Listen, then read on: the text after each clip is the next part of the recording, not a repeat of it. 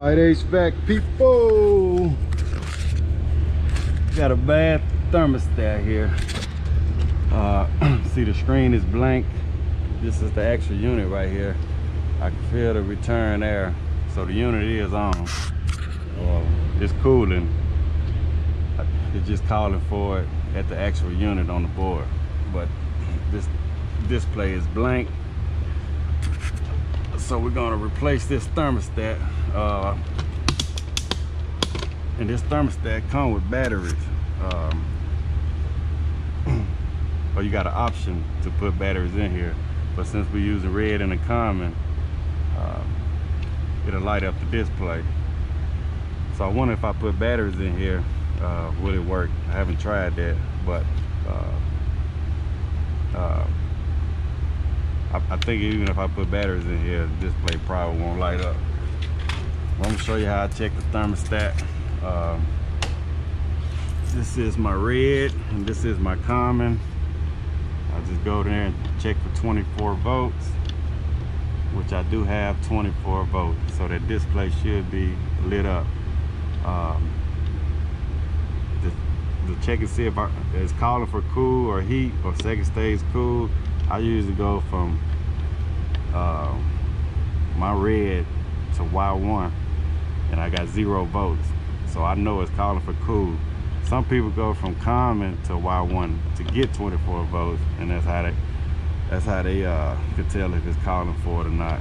I always go from red to say Y1. If, I, am getting zero, I know that uh, it's calling for cool. Let's say if I go to Y2 right here, I'm getting zero, so I know that uh, it's calling for second stage cooling. If I go from the G to R, I get zero. I know it's calling for. The W is the heat. I'm getting 26 volts, so I know that it's not calling for the heater to come on. So that, that's how I do it. Like some, some people go from uh, C to W, they get zero. Uh, they know it's not calling for. Like I say, you go from common to Y2. Uh, should be calling for. Let me see, go from common.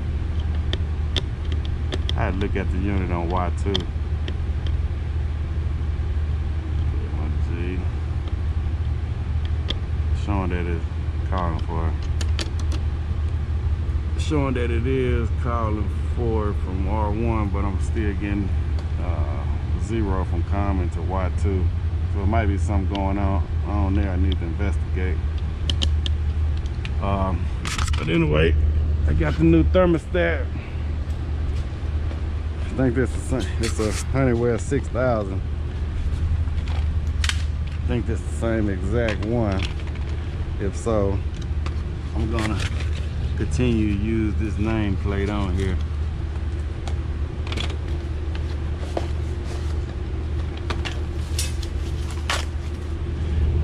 Even though got good return there, that's stuck right to it.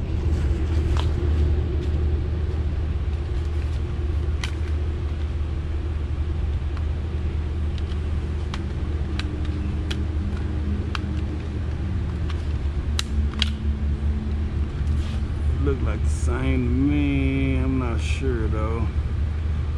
Want to let's see if it works. Yep. So it does work.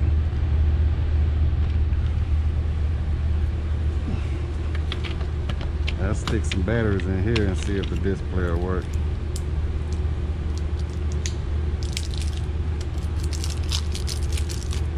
Just to be doing some. Plus, plus.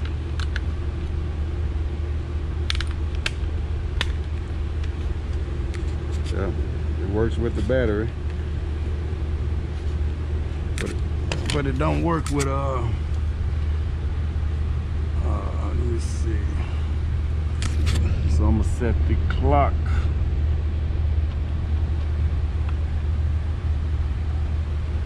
I think it's about 11, 11 13.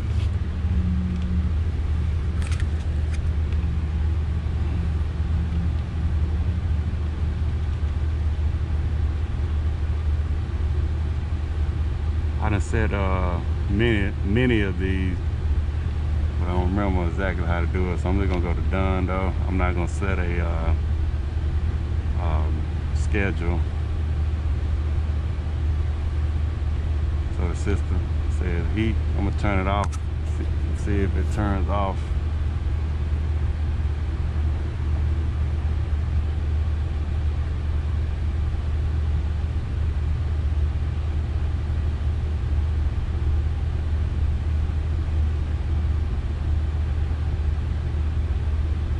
Sound like it's still running.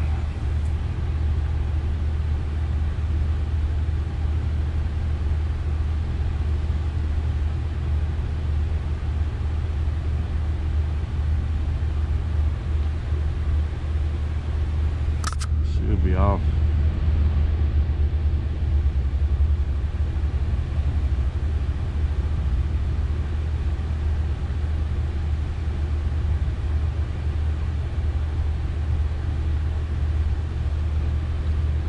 So I'm gonna turn it off and I'm gonna go to the extra unit.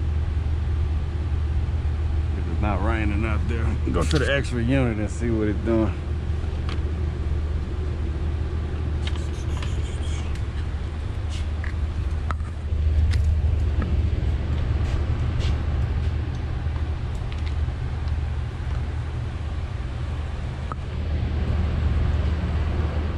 I think that thermostat is the only thing controlling.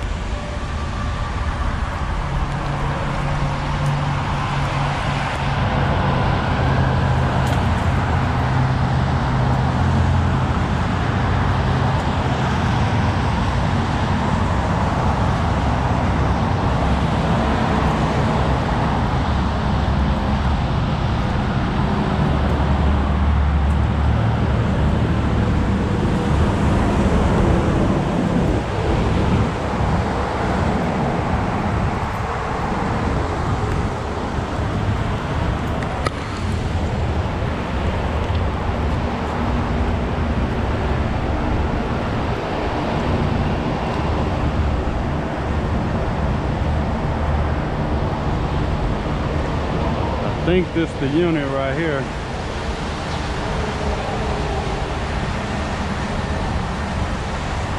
Really not sure.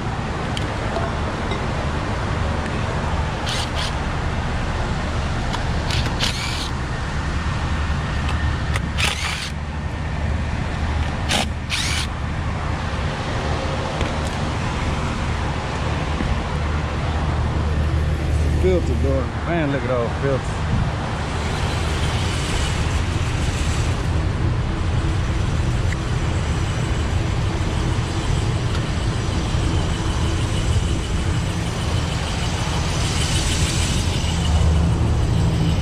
Uh, this unit needs some maintenance.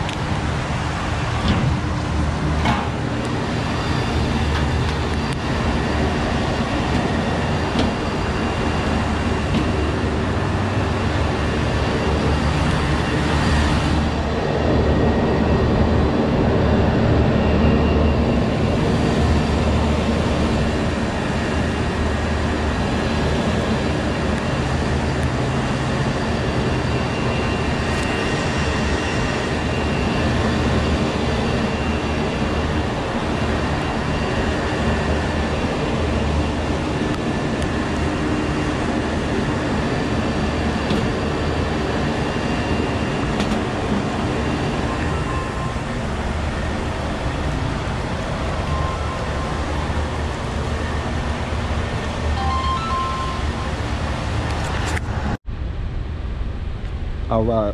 well, I buttoned the unit back up. The unit is turning off. Uh, I had to get a phone call, but I found out that it's hooked up to this humidity switch also. Um, so if I turn this off, the unit will shut off.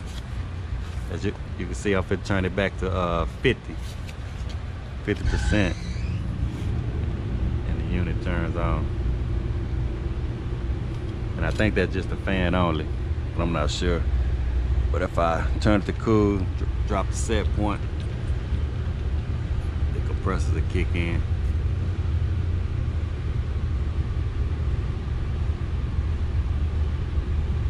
Like I said, I don't know exactly how this wire right here, but when it stopped flashing, there must be a delay on it.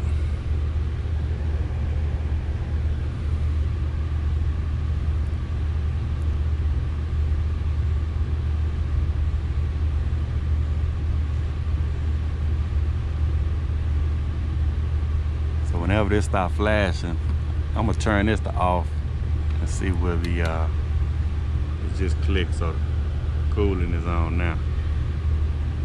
I wanna see if the thermostat overrides this humidity switch. So it's still calling for it. I'm just gonna turn this, yeah. See, I got it on off and it's still on. So the thermostat is in control. So I'm gonna turn it back to 50 that's a wrap. All right, Ace HVAC people. All right, real quick also, I'm gonna, I'm gonna turn this to off. You see the unit is still on. But also, I'm, I'm just gonna test it right here to turn the unit off at the thermostat. You see the unit did turn off. Turn it back on.